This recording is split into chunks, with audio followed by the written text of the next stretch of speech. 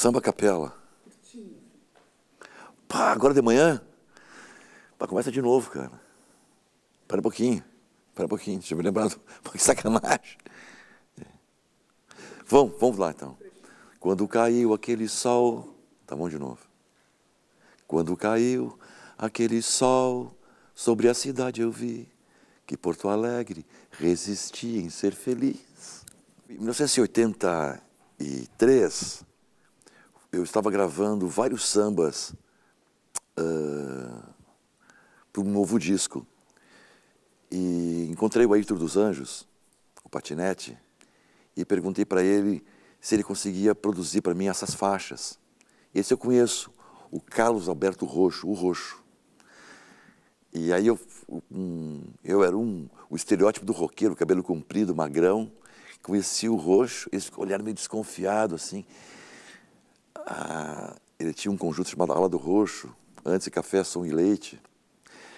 E eles ficaram me olhando, ele, o Itoca, o Zé Grande.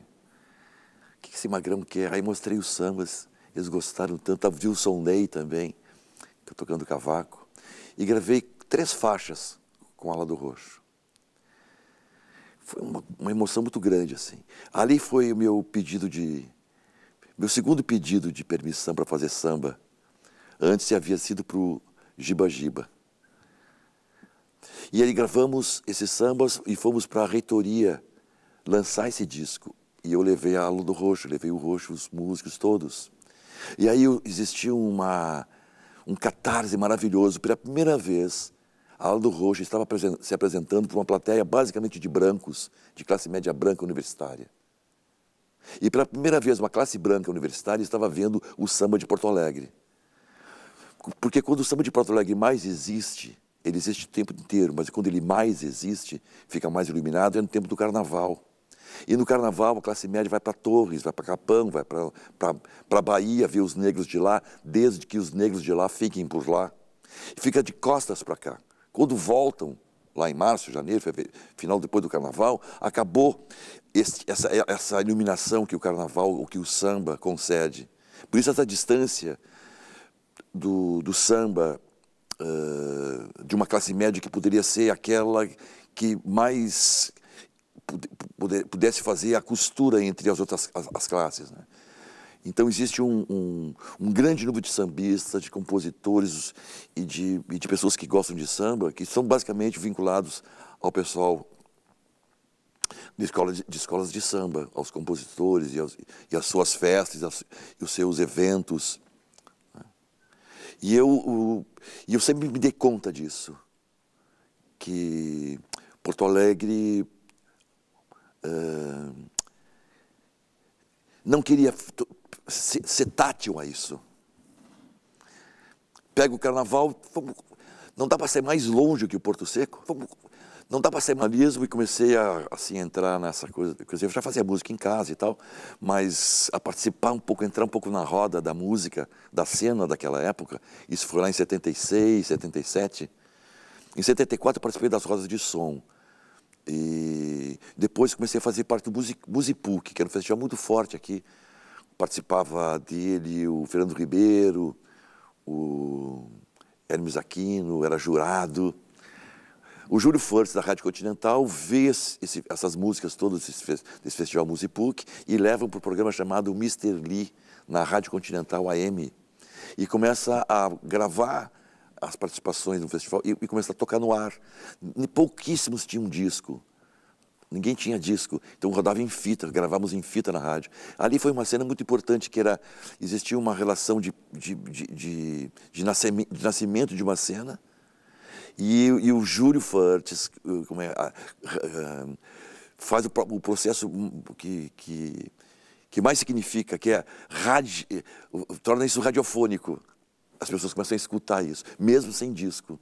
Né? Aí depois começam as gravações de disco então, dessa geração. Eu fiz uns bônus, porque eu não tinha dinheiro para fazer, era vinil, né? Então não tinha dinheiro para prensar um vinil, era, era caro. Aí eu ligava, ligava para as pessoas, tu quer um disco meu? Eles querem, só que tu vai receber daqui a 90 dias, pode ser? Pode. A Ana Taborda, que ela teatróloga daqui, diretora de teatro. Ela tinha feito, que aí eu roubei a ideia dela, que era maravilhosa. Ela tinha feito, para fazer um livro, ela tinha lançado Notas Promissoras. Esse puta, aí um grande jogado para fazer um livro. Fez a mesma coisa, né? E eu lancei os bônus. Depois o Neles Boa fez, o Gelson Oliveira, vários artistas fizeram isso. Que essa quebra de paradigma, que, que não dá, vai embora daqui, né?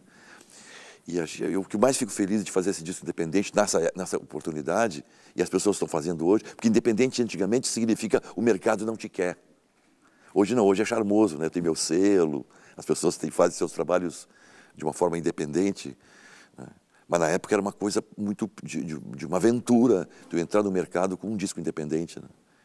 Mas fiquei feliz nesse sentido, que quebrei um paradigma que aqui não dava, que aqui era difícil. Essa churumela que, que Porto Alegre gosta muito de, de se, de, de se auto-lamentar e de se resignar com, com as coisas. Né?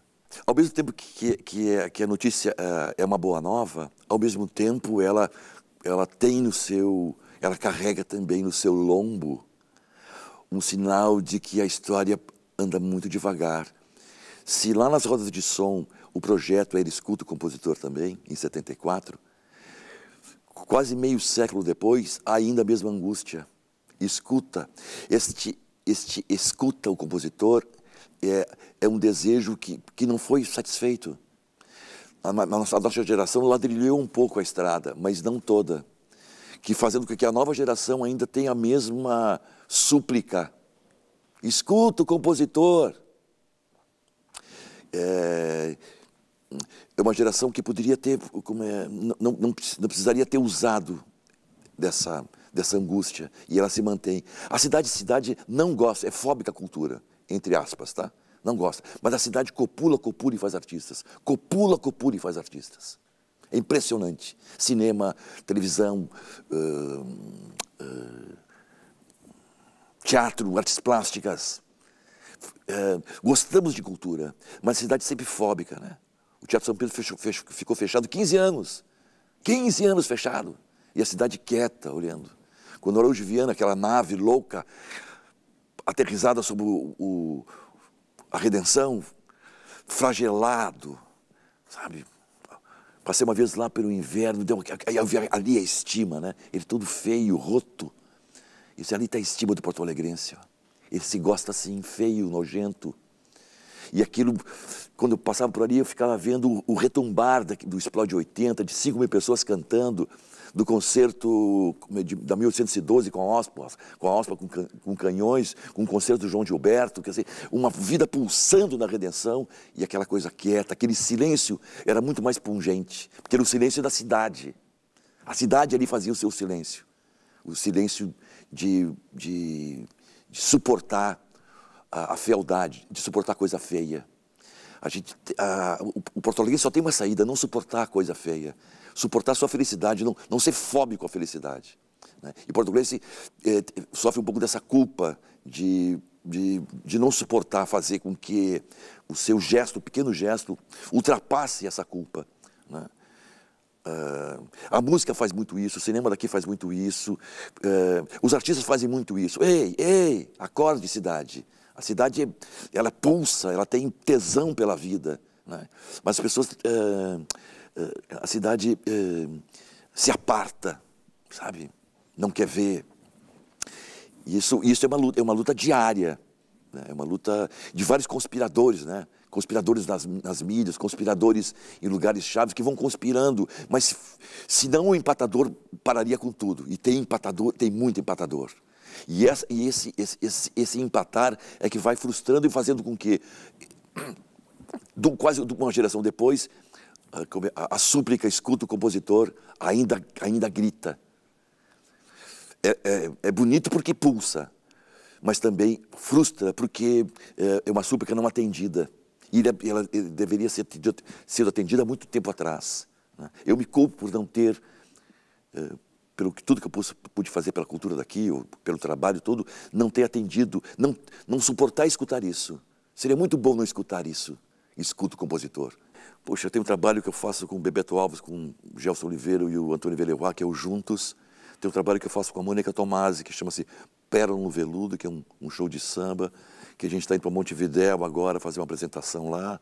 Estamos fazendo um intercâmbio muito bacana com os compositores, Gustavo Ripa e outros todos os compositores de Montevidéu. Muitos já vêm fazendo há muito tempo isso, como Raul Wangler, uh, Marcelo Delacroix, o Arthur de Farias vem fazendo com a Argentina, o Bebeto Alves vem fazendo há muitos anos. Essa coisa de, de, de um, romper essa geografia burra que nos separa, essa, essa, esse jogo uh, não entendido entre o português e o espanhol, que pode, que pode uh, ser maleável e, e um drenar a cultura. E eu estou trabalhando nesse, nesse sentido, assim, fazendo essas, esses trabalhos mais táteis, assim. Gosto da coisa tátil dentro de, da coisa que a gente possa tocar. Uh, teorizar, a gente pode teorizar, mas a gente tem que uh, não suportar o tempo dizendo que, você, que, que, que o teu norte uh, não, deve, não deve ser cumprido. Né? Eu acho que tem uma, tem uma coisa de, de caminhar, assim, de... Eu fiz. Eu sempre penso numa frase que uma pergunta futura do meu filho, que hoje está com 14, dizia assim, pai, e por que, que tu não foi para lá? E por que tu não fez isso? Eu não quero sentir essa culpa.